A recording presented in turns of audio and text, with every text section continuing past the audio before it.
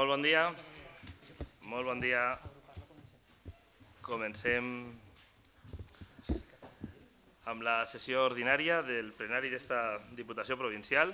Vull recordar que esta sessió té caràcter ordinari, donat que la Junta de Portaveus va decidir que el plenari corresponent al, al mes d'agost, que de manera habitual es celebrava la segona setmana de, de setembre, però que també de manera habitual solia eh, tindre una, una carència de, de matèria, de continguts eh, que, que fere que, que la sessió fora profitosa, se trasladara a esta setmana amb la voluntat d'intentar que una sèrie de, de plans de, de gestió, de plans reglats, com avui veurem al llarg d'aquesta sessió plenària, pogueren avançar-se i que també, per tant, els, seus, els ajuntaments beneficiaris pogueren de manera més immediata eh, poder començar les, les obres i avançar-les al període, al període estival.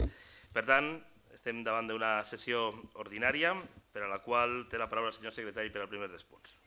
Sí, es el correspondiente a la lectura y aprobación de las actas de las sesiones anteriores, en este caso las correspondientes a los días 24 de junio y 3 de julio. Si bien significar que en la del 24 hay un error en la numeración eh, de los, eh, del orden del día de los asuntos, eh, que es un error de carácter exclusivamente material, con lo cual si no hay inconveniente pues se entendería corregido si se aprueba el acta. Molt bé, ha estat a disposició dels grups i amb la subsanació que, que feia referència al senyor secretari donem per, per, per debatut el tema i sometem a votació l'aprovació de les dos actes. Vots a favor. Unanimidad, señor presidente. Dono lectura al segon dels punts. Es la dación de cuenta de las resoluciones de la presidencia de la número 1754 a la 1985, que corresponde al periodo del 17 de junio al 9 de julio del 2014. Dono lectura al punt tercer dins de la Comissió d'Infraestructures. Es una proposición, eh, ya que el dictamen de la Comisión Informativa se ha llevado a efecto después de la convocatoria, con lo cual procedería a ratificar la inclusión en el orden del día.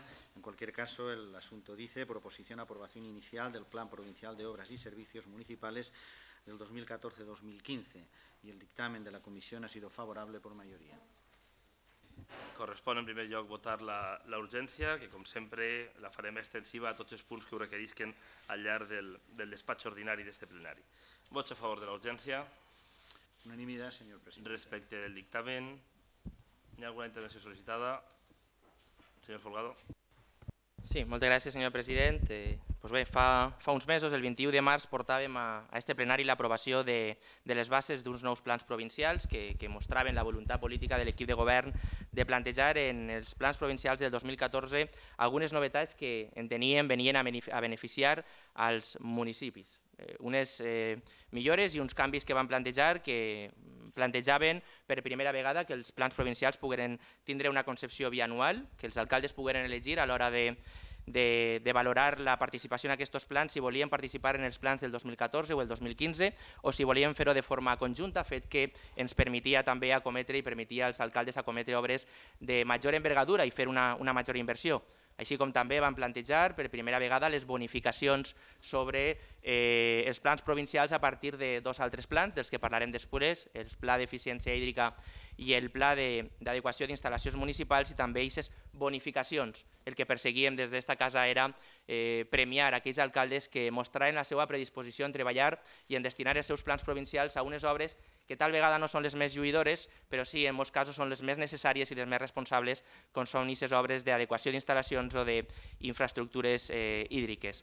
D'igual forma, també uns plans que plantejaven assumir la responsabilitat d'elaborar els projectes en aquells ajuntaments que així ens ho demanaren també per donar les majors facilitats administratives i reduir els seus costos i bé, i serà la voluntat política que va plantejar l'equip de govern i que per unanimitat aquesta corporació va refrendar i, i avui el que fem és escoltar la voluntat dels pobles. Avui el que fem és en base a aquest reglament, a aquestes bases aprovades, són els pobles els que ens diuen quines són les seues peticions i avui arriben i posem damunt de la taula 300 obres eh, que venen sol·licitades per els 135 municipis de la província, unes obres valorades en més de 12 milions d'euros i per les que aquesta casa podrà donar una subvenció d'un màxim de fins a 11,3 milions d'euros.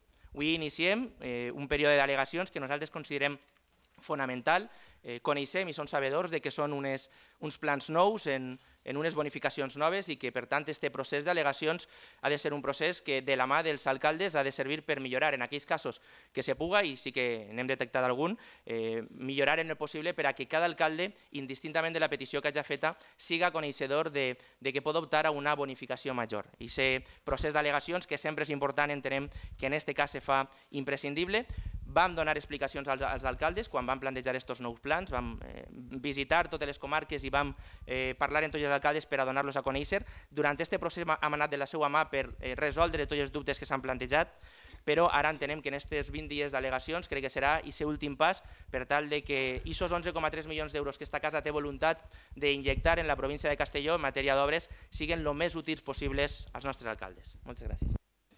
Moltes gràcies, senyor Folgado. Sometem a, a votació el dictamen. Vots a favor. Unanimidad, me ha parecido entender, sí. señor presidente.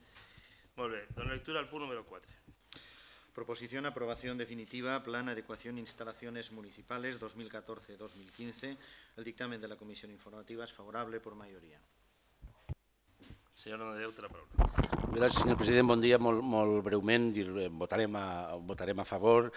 Eh, sí que voldríem que se fes una reflexió, perquè m'estan mirant totes les, les al·legacions dels diferents municipis i majoritàriament el problema sembla ser que és una qüestió de nomenclatura, de que no ens havíem entès bé si això entrava o no entrava, per a que la pròxima convocatòria intentem definir-ho de, manera, de manera més clara i després una, una segona qüestió, si no ens hem descomptat, hem fet curt de 124.000 euros per a poder atendre tots els projectes, queden fora 73 projectes, eh, m'ha paregut comptar, atenent a la consideració de, de, o, al subjecte d'aquest tipus d'ajudes que era per a evitar possibles problemes i adequar edificis, vol dir que tenim encara 73 edificis eh, en una situació que no, és la, que no és la més recomanable, per tant esperar que l'any que ve siguem capaços d'augmentar aquesta partida. Gràcies.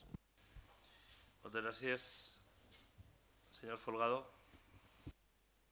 Bé, moltes gràcies, eh, senyor president. Eh, hem parlat ja diverses, en diverses ocasions d'aquest plan i de quina és la finalitat i l'objectiu principal d'aquest pla i, i per tant pues, sí que reafirmar que el que pretenia no era acometre totes les legalitzacions, les llicències d'activitat de tots els municipis que no les tingueren, sinó donar solució a aquests espais, a aquests almacens que estan sent utilitzats en alguns municipis per a ser, fer, realitzar celebracions festives especials. En aquest sentit, entenem que, i mirant i revisant els, eh, les peticions realitzades, totes les que estaven en este, en esta situació s'han atès. És cert que ne queden algunes eh, fora, però ja serien altres conceptes que no era la filosofia i l'objecte principal d'aquesta ordre. I per tant entenem que aquesta ordre ha vingut a complir adequadament i, i se servei. Eh, és cert que s'han fet una petició de 138 eh, locals, s'ha sol·licitat una, una reforma de 178 locals, dels que en període d'al·legacions només tan sols set al·legacions hem tingut, dos d'elles s'han estimat i les altres cinc s'ha verificat efectivament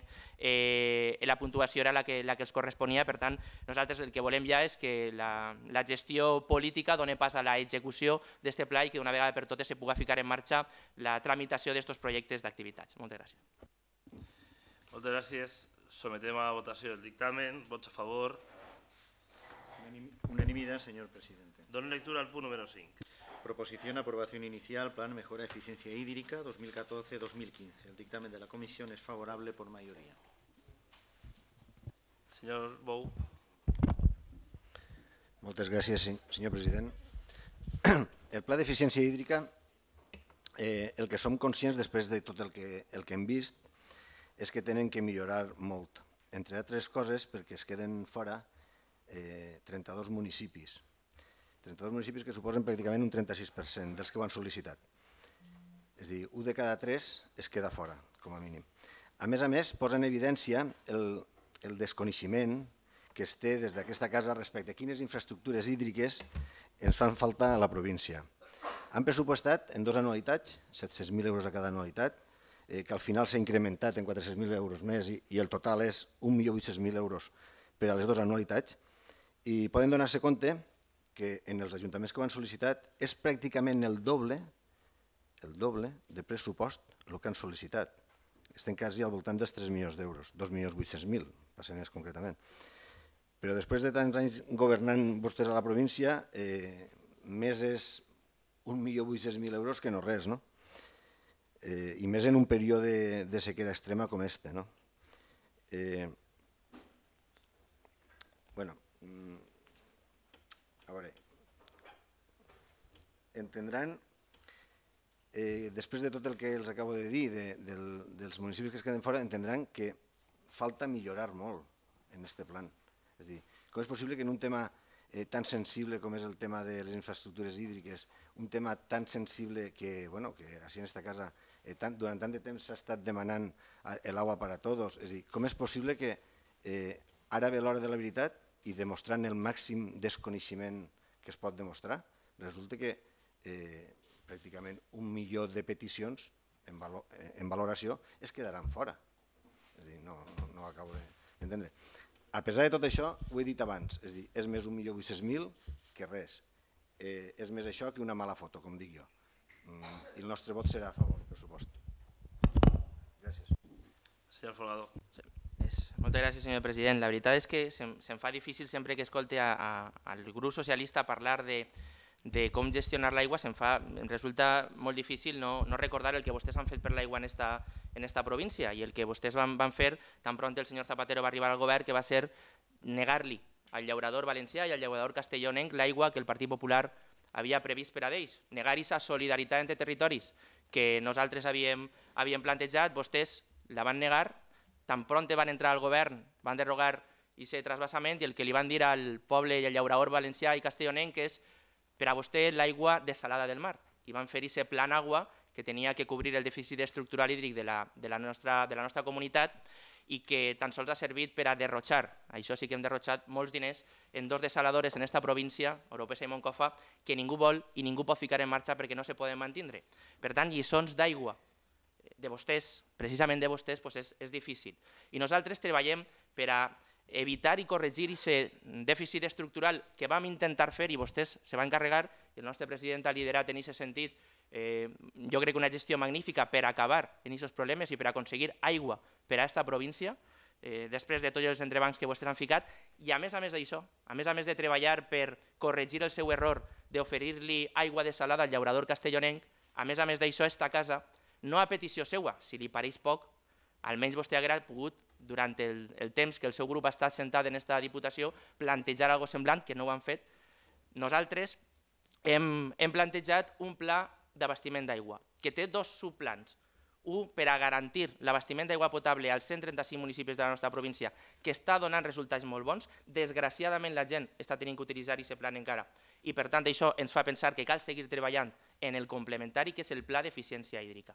I nosaltres hem plantejat, com vostè ha dit, un pla que dins d'aquest any s'ha incrementat ho ha començat a dir vostè molt bé, tenia 1.400.000 euros i tan pront com hem pogut, la voluntat del president i d'aquest equip de govern ha sigut la d'incrementar aquesta partida per poder arribar i atendre més peticions.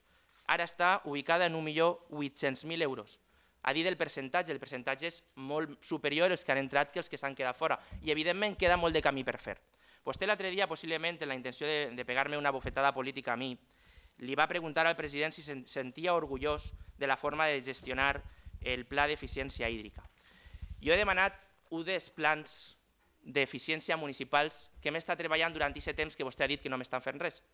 No els polítics, els tècnics, perquè jo crec que allò que vostè va fer, més que una bufetada política, era una bufetada més als tècnics, una de, de les tantes més que vostès de vegades quan repartissin als tècnics. El que nosaltres hem estat fent durant aquest temps, que era la nostra voluntat, era fer una radiografia de la situació real de cada un dels municipis que tenen problemes d'eficiència d'aigua.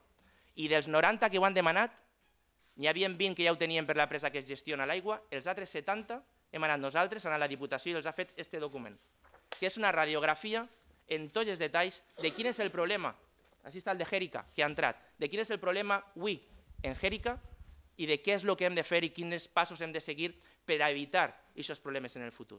I aquest és el treball que nosaltres hem estat fent mentre vostè li preguntava al president l'altre dia si sentia orgullós del treball que, que este diputat o que havien fet en els plans provincials. I jo sí que em sent orgullós perquè tots els que no han entrat, no han pogut entrar per eh, diners i els que han entrat tenen en este pla la solució. I nosaltres volem caminar de la seva mà per seguir treballant en aquesta solució, que definitivament fiquem negre sobre blanc per treballar en aquest camí. I per això nosaltres hem fet aquest pla que molts alcaldes han agraït, que vostès no havien plantejat, que nosaltres segur que podrem millorar, però sense dubte ja m'agradaria a mi vostè que quan vostè baixi del carro siga per espentar i no ja van per a ficar pedres en el camí. Moltes gràcies. Senyor Bou, la paraula. Moltes gràcies, senyor president. Eh, senyor Folgado, a veure, el, el que vostè acaba de, de fer avui així, tornem a estar en lo de sempre, és dir, mos fiquem en el govern d'Espanya, és dir, mos fiquem allà on no tenim competències i on tenim competències estem 20 anys sense utilitzar-les, 20 anys sense utilitzar-les. És dir, resulta que lo del pla d'eficiència hídrica, eh, el problema és d'ara, el problema és d'ara, tots aquests anys no hi ha hagut que portar cubes a l'interior, el problema de, de, de les infraestructures hídriques no és d'avui, ni d'ahir, és de fa molts anys. Entonces, que aquesta casa traga pitara del millor 800.000 euros que enguany, entre enguany i l'any que ve, disposarem per a aquestes infraestructures, molt bé, nosaltres clar que ho aplaudim, no, no estem ficant cap pedra que carro, no estem ficant cap pedra que carro. Ara, també li dic una cosa, si antes de dotar pressupostàriament per aquest plan d'eficiència hídrica haguérem parlat com hi ha que parlar en tots els municipis i haguérem preguntat antes d'elaborar el pressupost, com nosaltres us hem dit moltes vegades en aquesta casa, eh, en tots els alcaldes, probablement la dotació pressupostària seria mm, més alta, probablement haguem acudit a tots els problemes que tenen els municipis, no se n'haguera quedat cap i s'hagués gestionat molt millor. Perquè recursos, a pesar de que vostès continuen sempre en la filosofia aquella de que recursos no en tenim, recursos tots sabem que n'hi ha. I tots sabem que simplement no havent acudit a determinats convenis singulars a, a molt poquets, per, per valor d'un milió d'euros. Els convenis singulars pugen 3, pugen 3 milions 800 mil. És a dir, s'haguera pogut complir tot el pla d'eficiència hídrica. Moltes gràcies. Senyor Folgado, de la paraula. Sí, moltes gràcies. Eh, Realment no, no, ha aportat, no ha aportat ninguna informació nova respecte a lo que, a lo que ja sabíem. Vostès eh, seguissin en la seva. Sí que hem preguntat, mire si hem preguntat que tots els que se van presentar, a tots els que se van presentar vam enviar un tècnic per a fer això. I aquesta és una informació que tenen els municipis, que poden tindre els municipis i que és molt útil. I vostè dia, i no han donat només que 1.800.000 euros. Jo crec que això tampoc és correcte, perquè com vostè sabrà i com hem parlat antes, a través dels plans provincials se bonifiquen. I un ajuntament que tinga interès i que destini els plans provincials a fer actuacions d'eficiència hídrica, vostè sap que a part del millor 800.000 euros té una bonificació del 50% sobre un dels dos plans. Això vostè no ho ha contemplat, no ho ha dit. I si ho sap i, i ho ha amagat és perquè li interessava amagar-ho del debat, però el compromís ha anat molt més enllà del millor 800 ha anat fins al punt de que volíem saber quina és la realitat. I volíem saber la realitat i volíem que l'alcalde també la poguera conèixer, que en alguna ocasió podria donar-se el cas de que algun alcalde poguera desconèixer algun dels problemes que poguera tindre en el seu municipi en un punt determinat de la red. Per això també acometrem ara una instal·lació de comptadors. El nostre plantejament és el de saber realment, el de conèixer en detall quina és la situació real de l'aigua en, la, en la nostra província. I li torno a dir, vostè entenc que no li interessa que així se parli del senyor Zapatero perquè cada vegada que se parla del senyor Zapatero vostès no tenen altra que agachar el cap. Però és que en matèria, en matèria d'aigua en matèria d'aigua haurien d'amagar-se baix de terra buscant aigua, perquè el que van fer vostès, el que van fer vostès, que nosaltres anem corregint, 10 hectòmetres cúbics d'aigua s'aconseguiran i inversions aportar, a, interessants. Sí, claro, vostès diuen a futur, a futur, a futur, però ja se materialitzen. Fa poquet vostès també diuen, i me tocava escoltar, que que a Vilafranca, que no anàvem a donar res a Vilafranca i que era, com era possible que no atenguérem les peticions de l'alcalde de Vilafranca. Mire, la primera petició, la primera de tota esta llista, la primera és l'equipament per al Parreta 6, la primera. I vostès han negat fins a la societat... Senyor que Bou, esta... senyor Bou, ha agotat el seu torn de paraula. Faig el favor de deixar parlar a qui li està l'ús de la paraula. Vostès han negat fins a la societat. Entenc que estiguen nerviosos perquè no els agrada que es diguin aquestes coses Eh, quan, quan els socialistes se queden sense pancarta se fiquen nerviosos. Si vostès en esta casa han perdut la pancarta de la gestió econòmica perquè ja ni s'atrevisen a debatir en el vicepresident primer i estan perdent la pancarta de les infraestructures perquè quan diuen que eren malos los convenios singulares i que havia que fer ordenes regulades, ara que portem les ordres reglades tampoc els acaben d'agradar massa i per tant se posen nerviosos. Però com es dia, Vilafranca, i m'ho han negat en esta casa i fora d'esta casa. M'han negat que la, la Diputació de, de Castelló anara a ajudar a Vilafranca i així està, la primera, perquè nosaltres, pese a que vostè quan prepara els plenaris obrin els expedients i l'únic que mira són números i colors polítics, nosaltres quan preparem aquests expedients l'únic que veiem són pobles i necessitats a cobrir i aquesta inversió ve a cobrir unes necessitats que sabem que els pobles agrairan. Moltes gràcies. Moltes gràcies. Sometem a votació el dictamen del punt 5. Vots a favor. Unanimidad, señor presidente. Encara que no ho pareguere. Eh, Punt 6. Té la paraula el senyor secretari. Proposición, modificación, anexo de inversiones, estación depuradora de Borriol. El dictamen es favorable por mayoría. Senyor Nadeu, té la paraula. Gràcies, senyor president. És evident que este és el, el, punt, el punt estrella de, del plenari del plenari d'avui. Eh, el, que, el que estem fent avui és portar cap a l'any que ve una inversió que a finals de l'any passat vam portar a este, a este any. Per tant, hi ha una primera sensació de, de déjà vu eh, que, en fi, eh, se sustenta en el fet de que l'Ajuntament encara no té eh, la propietat formal dels, dels terrenys. En tot cas, dir, per si no se sabia, que el grup eh, de compromís en Borriol va presentar un recurs de reposició el passat dia 15 contra l'acord plenari que permetia la compra dels solars, un acord aprovat amb el vot de qualitat del senyor Pauner, que és l'alcalde de la localitat i company nostre en aquesta corporació. Les raons que alegava el nostre grup, la falta d'informes preceptius en la documentació plenària i discrepàncies sobre els preus, exactament les mateixes que en l'al·legació presentada prèviament i que va ser desestimada, nosaltres enteníem que de forma no suficientment justificada, raó per la qual hem acudit a la via contenciosa. En tot cas, estaria bé aprofitar que està el senyor alcalde, que és membre de la corporació, i que ens expliqués en quin punt estem exactament i si és cert que no s'ha signat el conveni perquè la propietat ho està retrasant.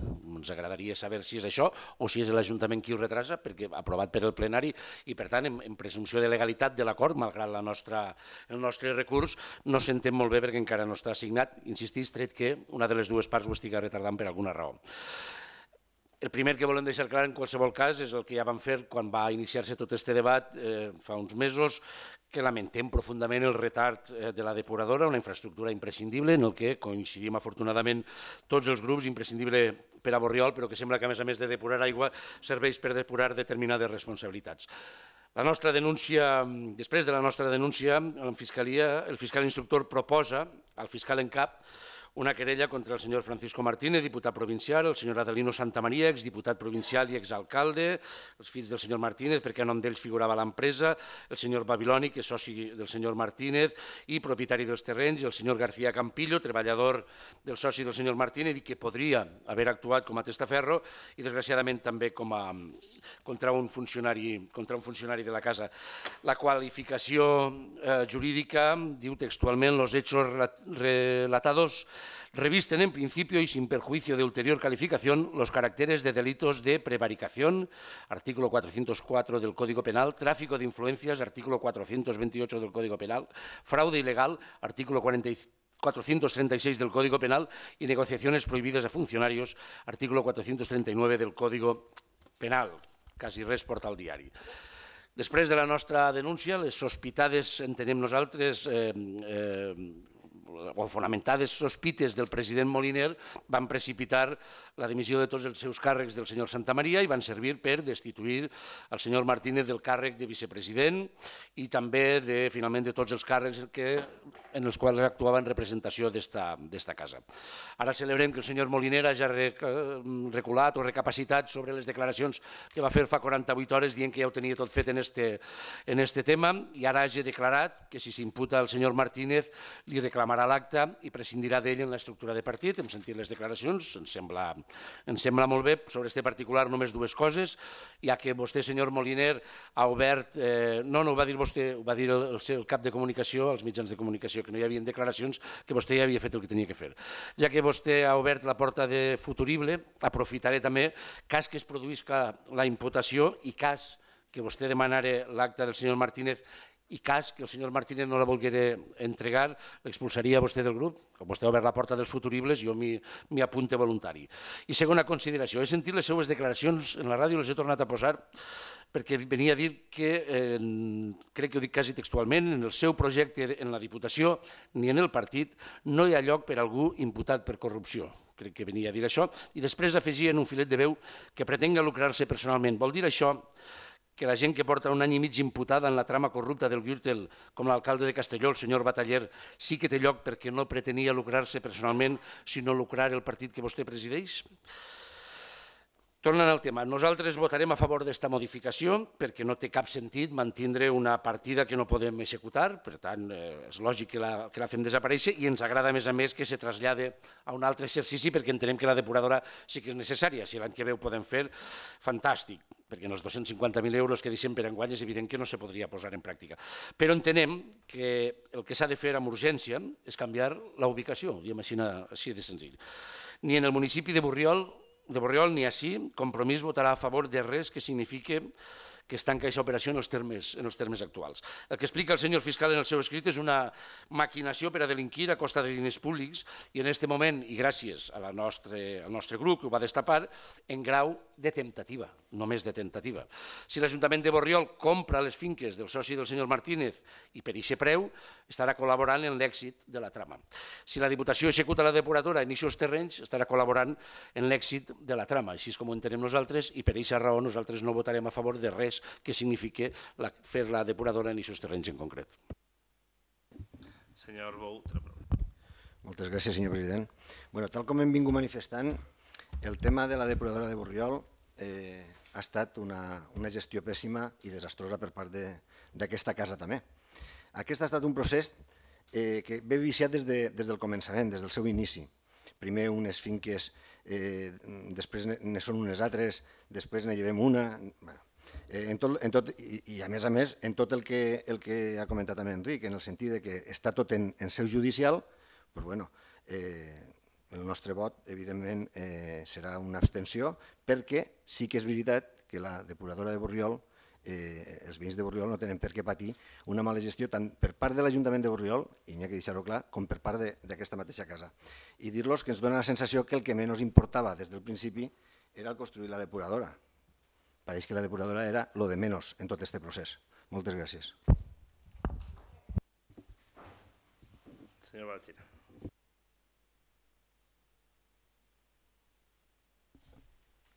Muchas gracias, señor presidente, y buenas tardes.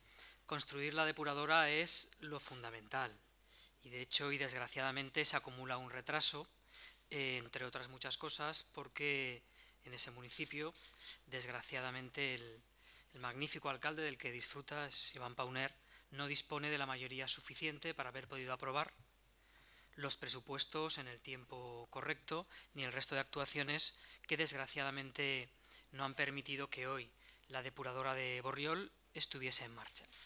El comportamiento de la Diputación ha sido un comportamiento ejemplar. Ejemplar porque dispusimos de todos los recursos que había que disponer, eh, hurtándolos de otras partidas también necesarias para poder ejecutar la obra completamente en este año. Creo recordar hasta un millón eh, ochocientos mil eh, euros, un millón ochocientos 80.000 euros. Por tanto, hicimos todo lo que teníamos que hacer y todo lo que estaba en nuestra mano. Bien sabe el diputado socialista, aunque se le haya olvidado durante su intervención, que la aportación de las parcelas es una decisión municipal. Y la única participación que tuvo eh, recientemente la Diputación, tras conocer que podían haber parcelas con dudas eh, y que se podía arrojar alguna sombra, fue decidir hacer un proyecto técnicamente viable, si es que eso era posible, con una menor, con, eh, una menor dimensión.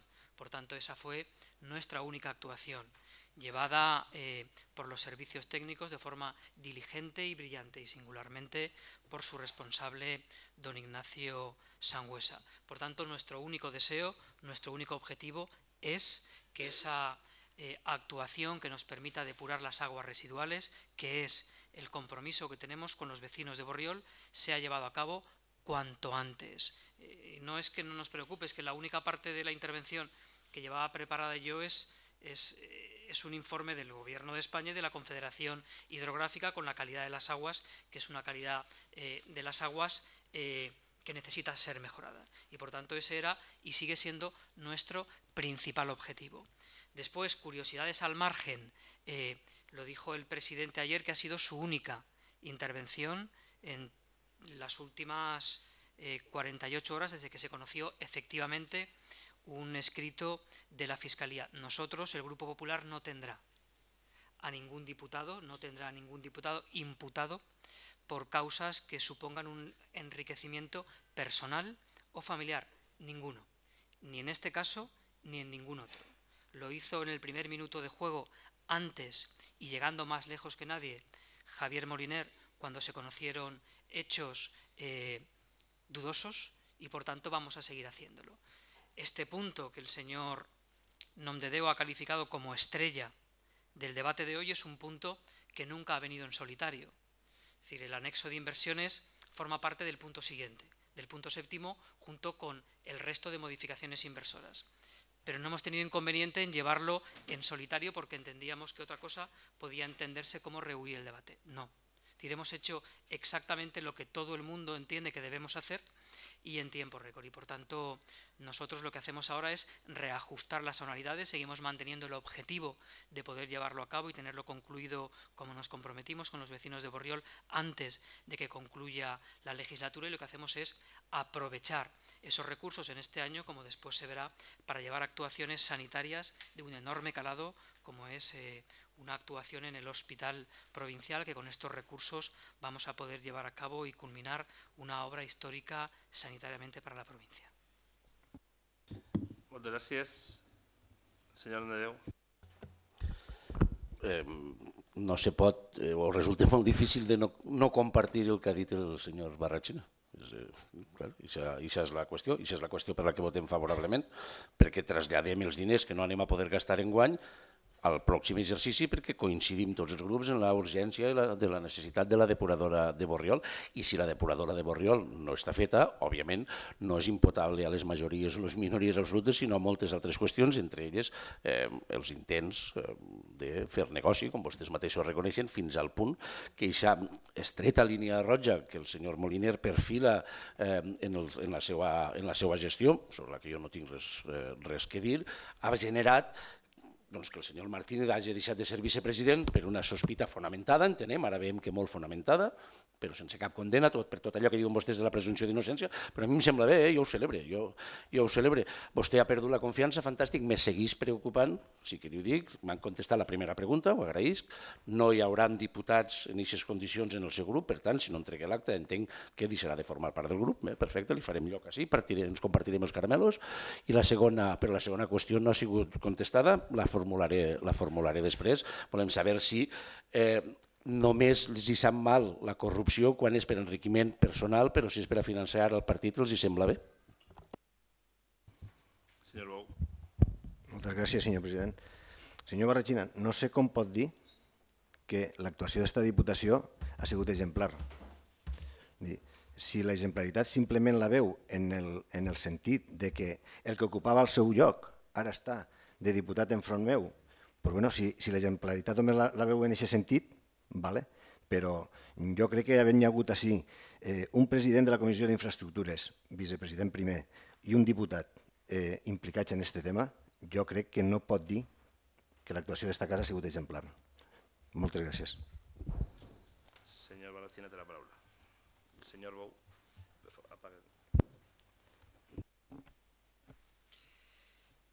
Eh, Gracias, señor presidente. Sí, impecable en el sentido que tenemos dos obligaciones, una obligación técnica y una obligación económica. Las dos, en las dos esta Diputación ha demostrado siempre la máxima diligencia, aportando el millón mil euros en ese objetivo medioambiental importante. Habían otros muchos, es decir, eh, eh, por tanto se decidió, eh, se tomó la decisión acertada de en ese orden de prioridades de depuración de aguas, llevar a cabo esa actuación y técnicamente también. Dicho lo cual, el resto de actuaciones que el fiscal presume, pues naturalmente tendrá el fiscal que aportarlo y, demostrarlo.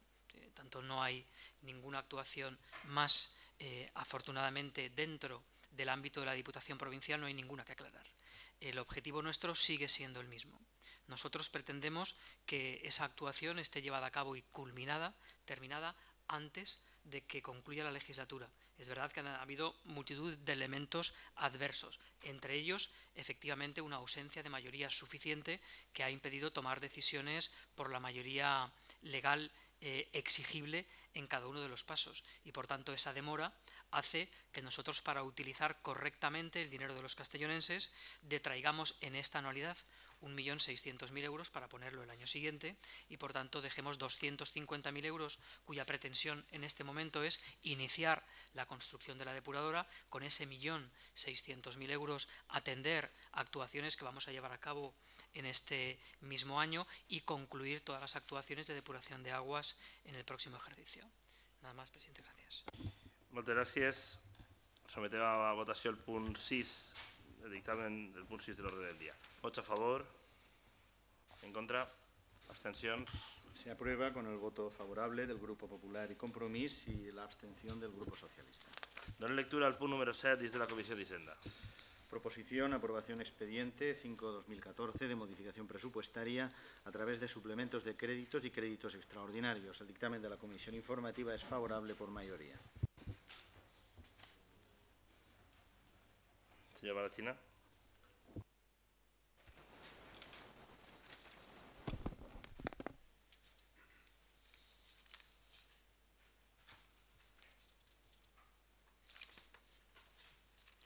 Sí, gracias, señor presidente. El objeto de la modificación de créditos, de la cual una parte es, eh, la revisión de, en el anexo de inversiones, tiene fundamentalmente dos nutrientes. Uno, eh, recoger la parte de la depuradora que no va a poder ser ejecutada este año de Borriol.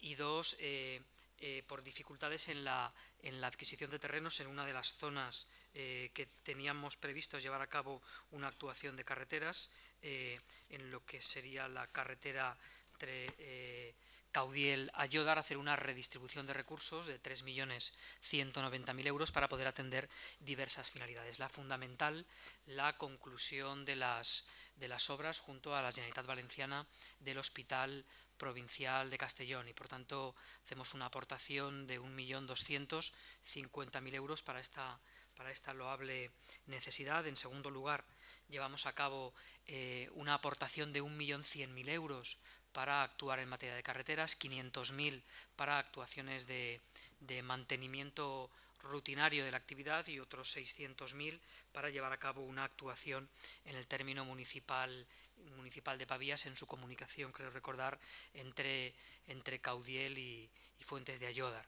Después hay varias actuaciones eh, importantes, una de ellas eh, eh, en Morella, una actuación de 620.000 euros para la actuación sobre el edificio Colomer Zurita, titularidad de esta Diputación Provincial, donde lo que se hace es a los 400.000 euros previstos este año adicionar 220.000 euros nuevos para el año próximo. Es necesario, aunque esto no modifica el presupuesto de hoy, es necesario para poder licitar la obra, tener la disponibilidad de los 620.000 euros. Esta disponibilidad, dado que no eh, exige recursos de este año que ya estaban previstos, sino del año próximo, será eh, ejecutable mañana mismo no requiere de la exposición al público de 15 días como es obligatorio en el resto de elementos presupuestarios modificados hoy. Por tanto, a partir de mañana mismo puede salir a licitación esa importantísima obra de 620.000 euros donde tenemos previsto modificar eh, modificar, bueno, llevarlo a cabo entre este ejercicio y los primeros meses del próximo. Hay alguna revisión de anualidades en el municipio de Bechí era un compromiso ya adquirido, había una anualidad de 40.000 euros para el año próximo, dado que el ayuntamiento ya ha culminado las obras eh, y teníamos la posibilidad de anticipar esos recursos, lo que hacemos es trasladar a este ejercicio la anualidad del 2015, sumar las dos anualidades para que pueda serle eh, pagado, creo recordar que los 80.000 euros en su integridad y del resto de inversiones hay algunas en Alcalá de Chisbert, en Nartana, en Bechí, la que ya he citado, en la Marjalería, en Castellón Ciudad, una actuación de 120.000 euros, 60 este año y 60 el próximo, en Forcall para una actuación de ampliación en la residencia de ancianos y varias actuaciones de calado cultural entre ellas la ampliación a cuatro nuevas becas del, del, Servicio de Restauración y Conservación de la Diputación Provincial que tantas prestaciones y tantos eh, buenos servicios está ofreciendo a lo largo y ancho de la provincia. Ese es el objetivo de la modificación de 3.190.000 euros, que lo que pretendemos, y lo decía antes Héctor Folgado, en los tres puntos de gestión que han movilizado eh, diligentemente pues más de 15 millones de euros y actuaciones en más de 400 eh, municipios, o mejor dicho, 400 actuaciones en 135 municipios para los seis meses que quedan. Y yo quiero felicitar a Héctor Folgado, a todo su departamento, a,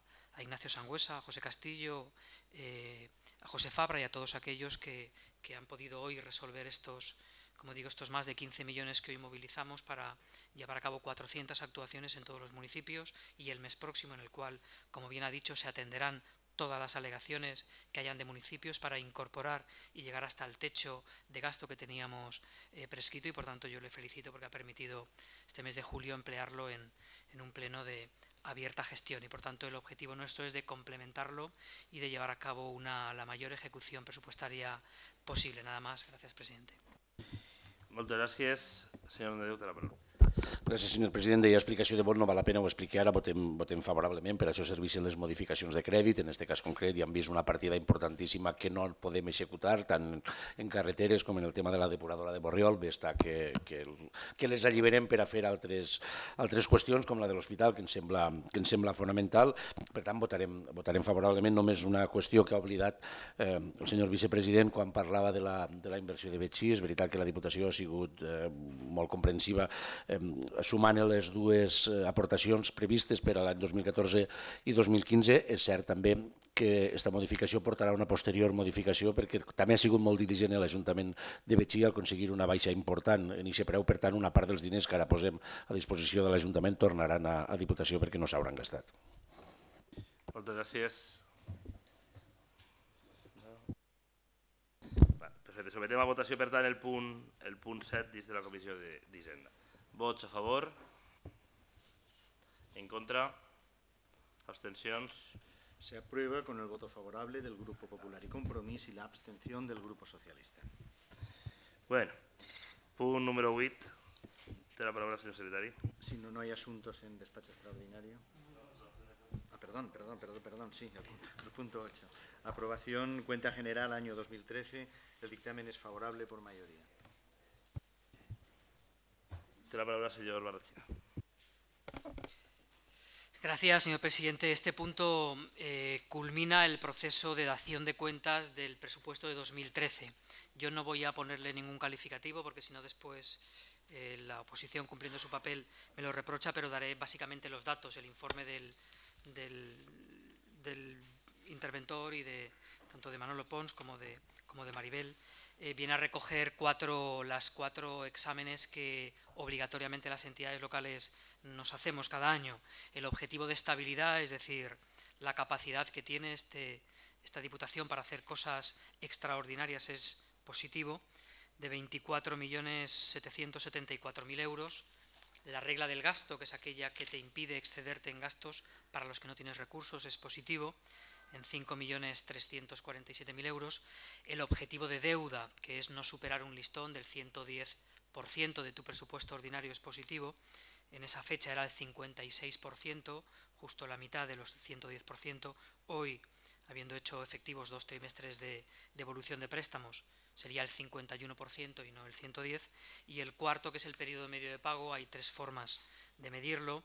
Eh, 19 días eh, de una forma, 20 días de otra y 14 días de otra. Por tanto, los cuatro criterios eh, son informados favorablemente por los servicios de intervención y el informe sigue diciendo que el número de modificaciones se ha reducido a solo un 7%, el, el 2011 fue del 31% y el 2012 fue del 19%, que la ejecución del gasto ha sido importante, del 93%.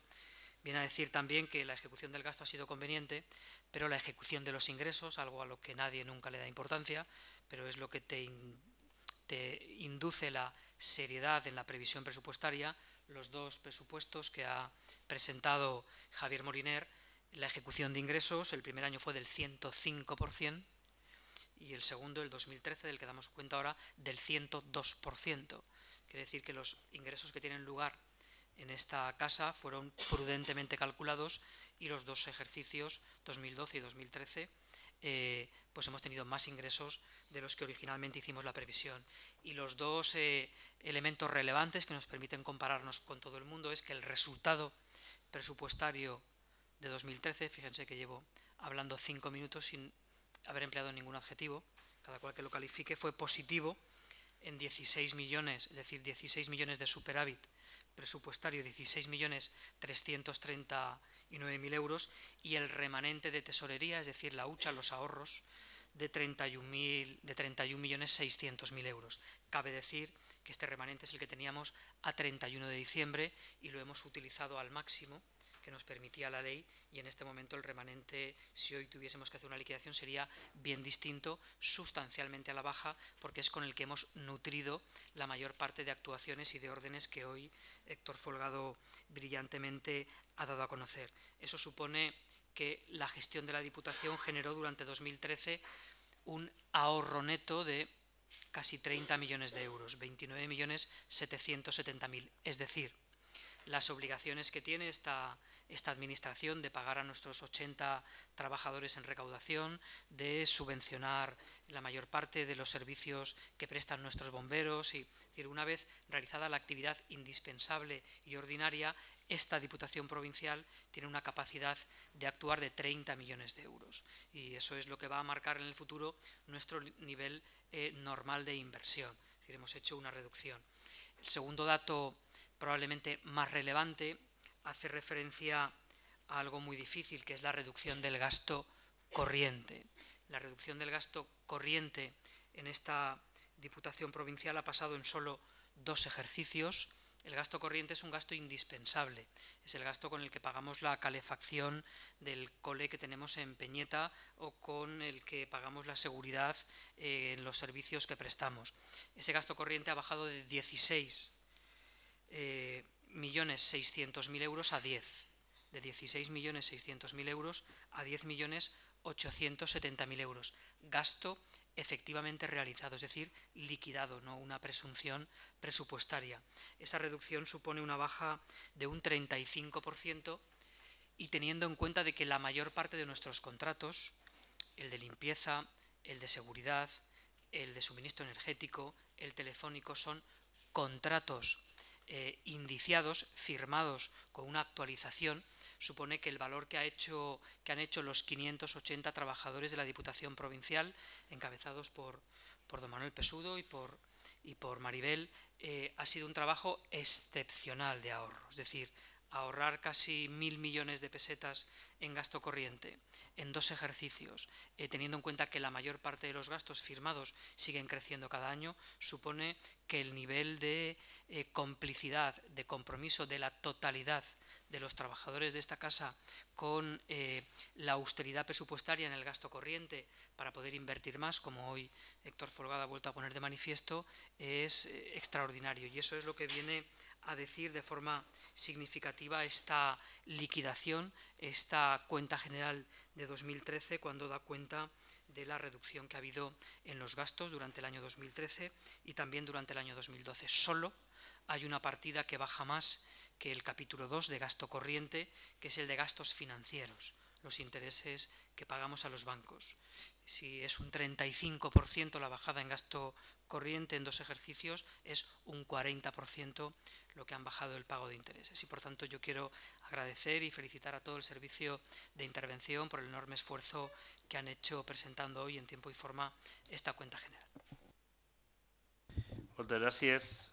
Sometem a a votació el, el, el dictamen del punt número 8 de l'ordre del dia. Vots a favor?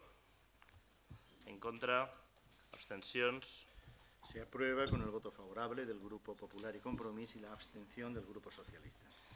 Moltes gràcies. No tenim res en el despatx extraordinari, per tant, donem pas al punt de pregs i preguntes. Senyor Nadeu, té la paraula. Gràcies. Dos, dos, dos pregs renúncia a el que havia dit que preguntaria després perquè no és matèria de, de la Diputació, entenc. Eh, L'any 2010, 2010 i 2011, en els dos, eh, els dos exercicis, gràcies als POIs, se va fer una, una obra de pavimentació en cabanes, del camí que porta a l'església fortificada d'Albalat, que és un monument del segle XIII i que està declarat bé d'interès cultural, i va acabar el 2011 i allí segueix havent-hi un enorme cartell anunciant l'obra tapant un terç de la façana principal del, del, del Vic. Eh, seria raonable que la farem retirar sense tardar més i ja està.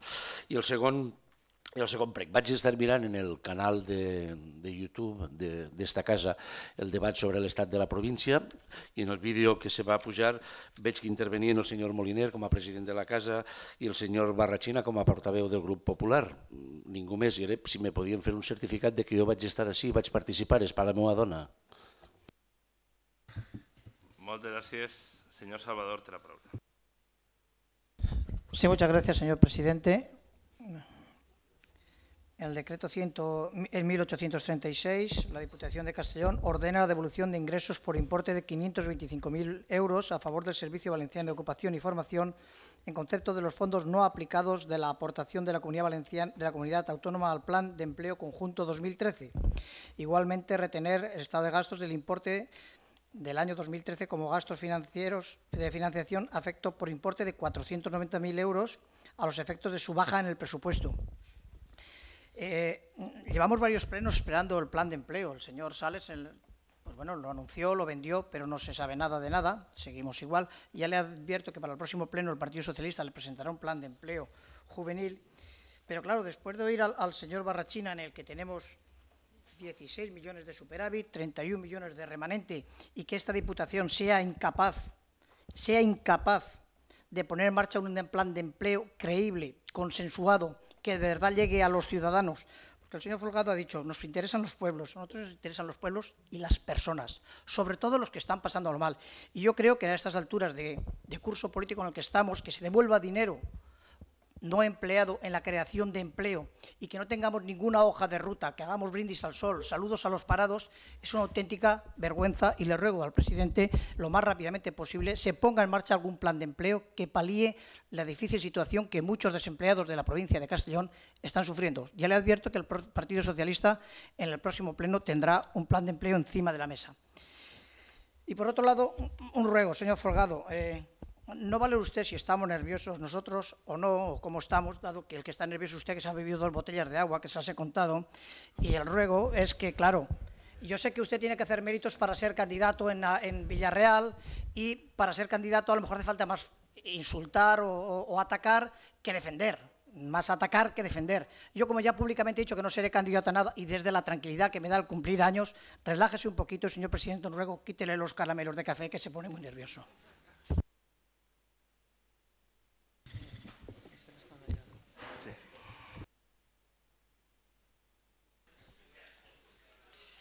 Eh, gracias, sí, por, responderle. Creo que lo, último que ha dicho es de lo más interesante que le he oído. Eh, eh, efectivamente, los planes de empleo y nuestra urgencia es máxima. De hecho, hicimos la dotación ya a finales del mes de marzo. Creo que recordar que en el pleno del 27 o en abril hicimos la dotación de 547.000 euros.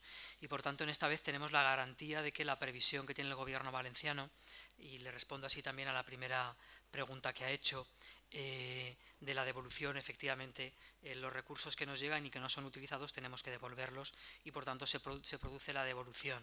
En, en, aquel caso no hubo empresas suficientes que llevasen a cabo la solicitud de los contratos, en este caso siendo una actuación, actuación orientada a los municipios y con vigor hasta el próximo 30 de mayo es muy previsible que los municipios sí que hagan ese uso y por tanto el momento en el cual cabrá juzgar la buena labor de, del diputado Vicensales será cuando concluya el periodo, pero efectivamente nosotros tenemos la misma urgencia y es verdad que hay una situación de desempleo agobiante y hoy hay 3.906 cotizantes más a la seguridad social que hace 12 meses y por tanto es 3.906 personas menos de agobiante que hace un año, lo cual no significa restarle un ápice de la enorme gravedad que la alta cifra de desempleados, 58.000, tiene la provincia de Castellón y compartimos el mismo objetivo que el Grupo Socialista, que es el, la tasa de empleo, reducirla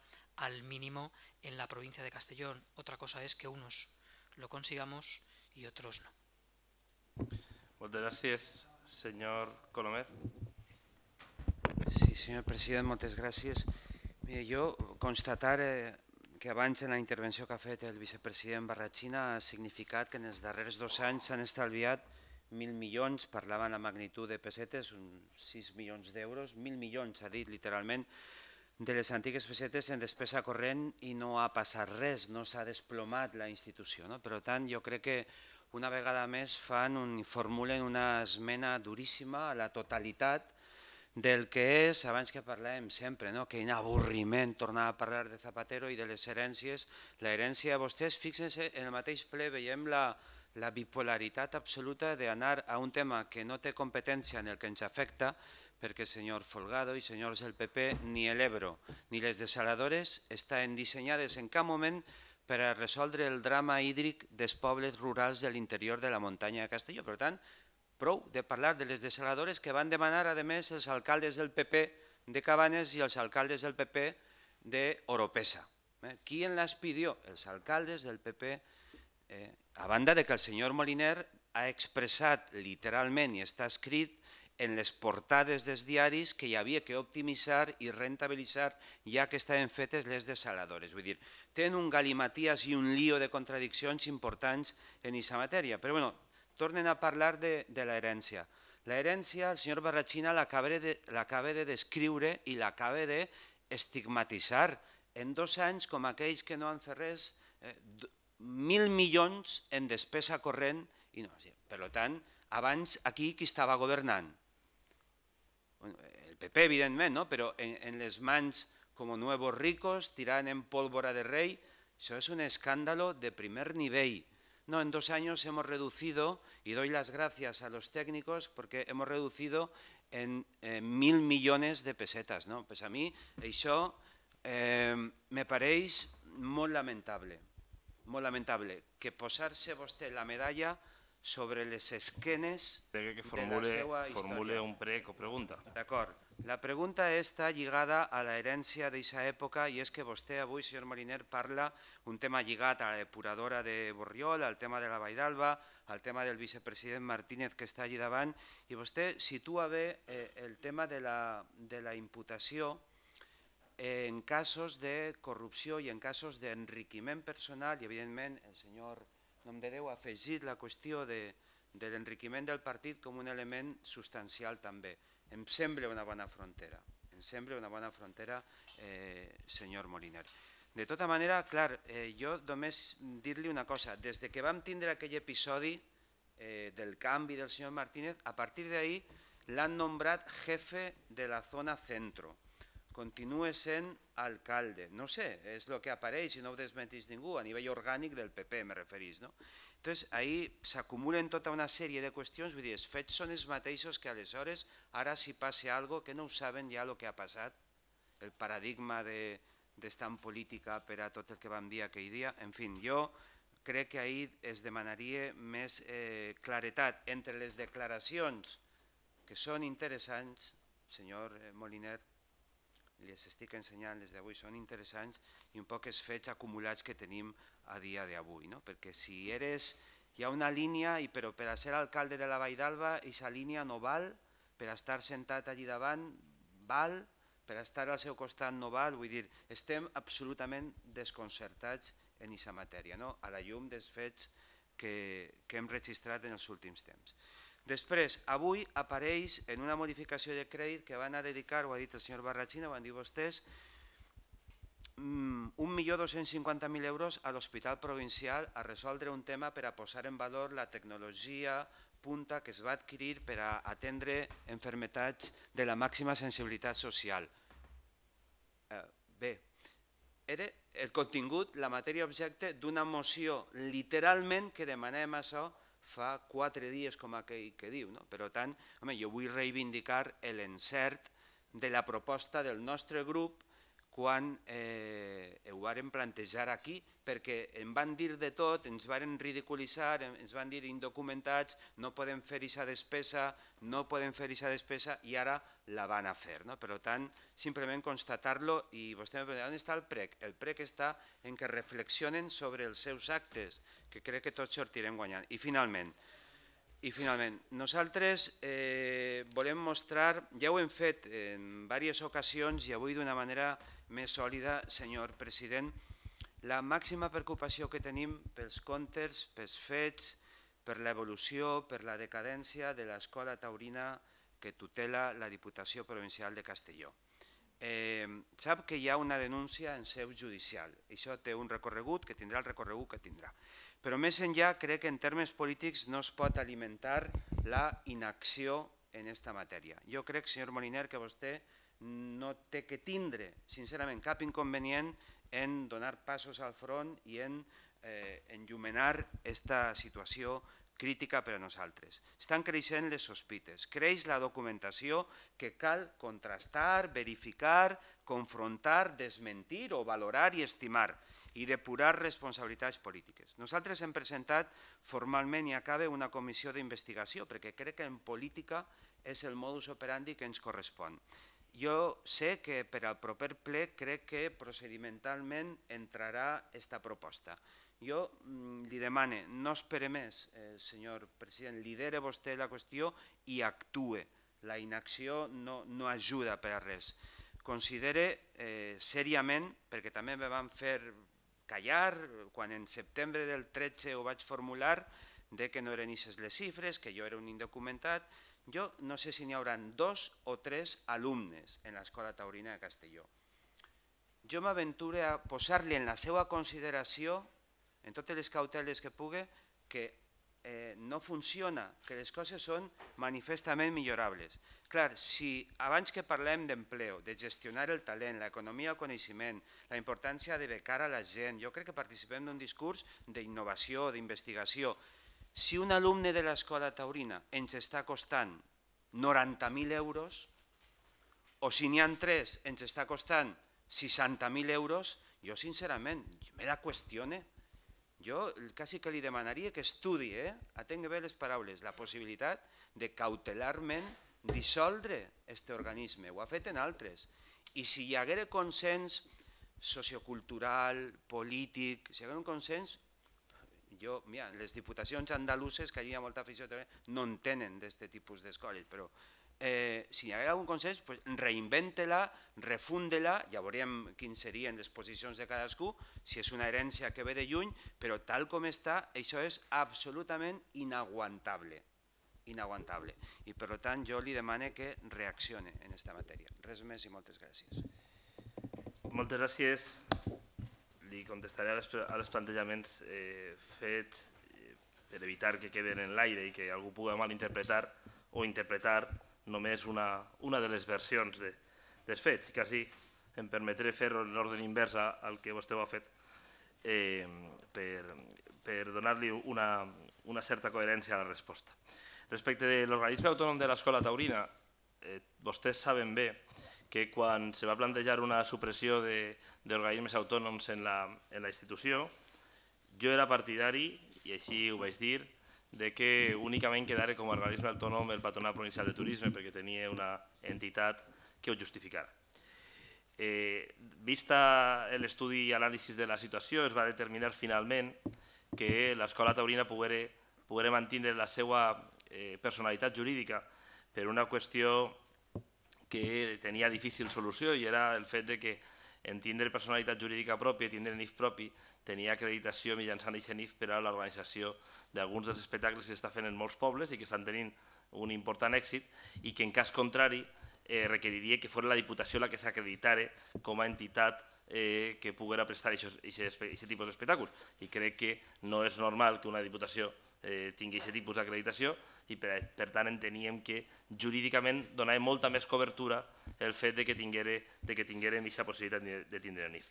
Des d'aquell moment, el que sí que és cert, i algú pot, pot comprovar qui vulgui, que l'Escola Taurina pressupostàriament ha vist reduït i minvat el seu pressupost fins al punt de que avui apenes alcance poc més d'un terç del pressupost que tenia al principi de la, de la legislatura, mantenint, inclús renunciant a, a salaris, prescindint de, de gerent i intentant que tots els diners que la, que la Diputació volquen en l'escola no vagin volcats directament en, eixe, en, eixe, en el fet propi de l'escola, sinó en l'organització i aportació de festejos en guany en més d'una dotzena de pobles al llarg de tota la província i provocant i, i ajudant a la dinamització de, de les festes locals de cada un dels pobles.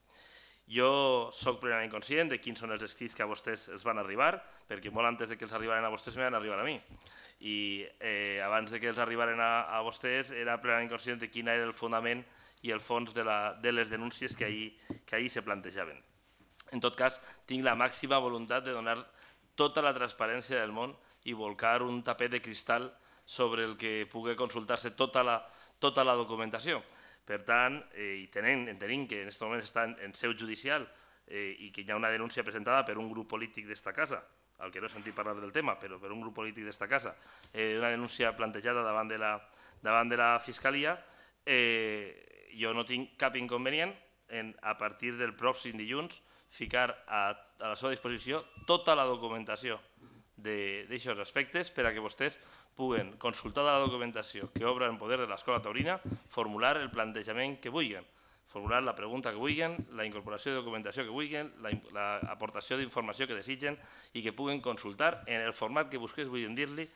Eh, vostès són molt partidaris, a lo millor, del, del, del formalisme de la Constitució d'una comissió d'investigació, que en altres eh, seus parlamentàries no massa allunyanes d'ací eh, estem veient en què acaben transformant-se, però que jo crec que per pragmatisme i operativitat és molt millor que vostès puguen tindre tota la informació al seu abast, tota la informació, tots els funcionaris de la casa que hagin participat en l'elaboració de documentació a la seva disposició per aportar i complementar el que desitgen.